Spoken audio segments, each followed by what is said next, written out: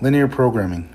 Maximize z equals x plus 3y subject to x greater than or equal to 0, y greater than or equal to 0, x plus y greater than or equal to 3, x less than or equal to 5, and y less than or equal to 5.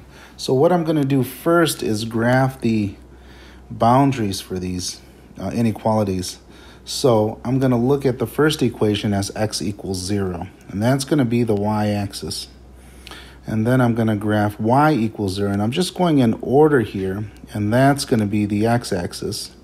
And then the x plus 3 is going to be the point 03 and the point 30, which is going to go right through those points. And then the last, the uh, well, the one before the last, x equals 5, that's going to be a vertical line at x equals 5. And then y equals 7 is going to be a horizontal line at the y equals 7. So there's the last line, y equals 7. So I will label these um, actually just by color. So for the first one, so this one here was my blue line. The red one was my second line. And now again, I'm not doing the inequalities here. These are just the boundaries, the y equals 0, x equals 0. And then the green one was my x plus y equals 3. And then the purple one was my x equals 5. And then the orange one was my y equals 7. So there's my lines there.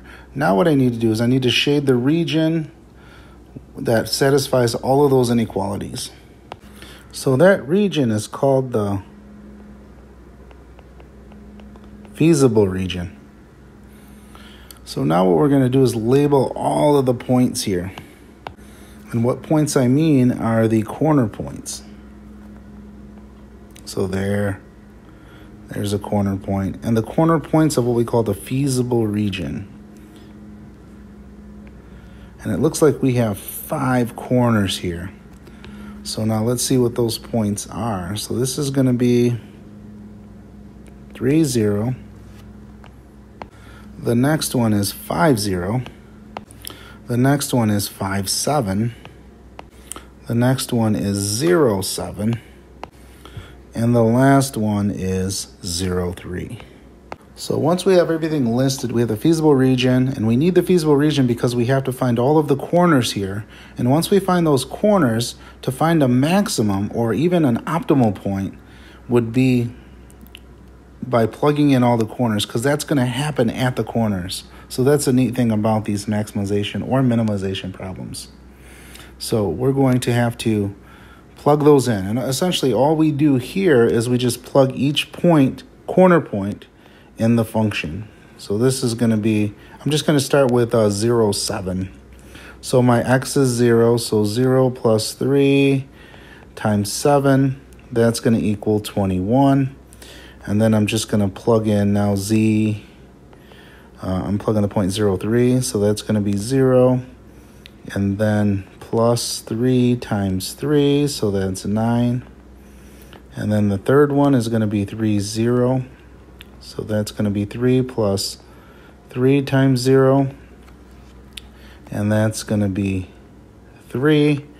And then z equals 5 plus 3 times 0 and that's going to equal 5. And then z equals 5 plus 3 times 7, so that's 21, 26.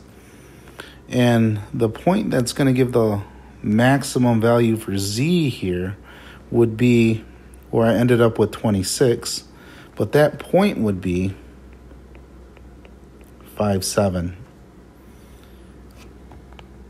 So the maximum occurs at the point 5, 7. And again, any optimal point is going to be at a corner of our feasible region. So this is the answer to that question.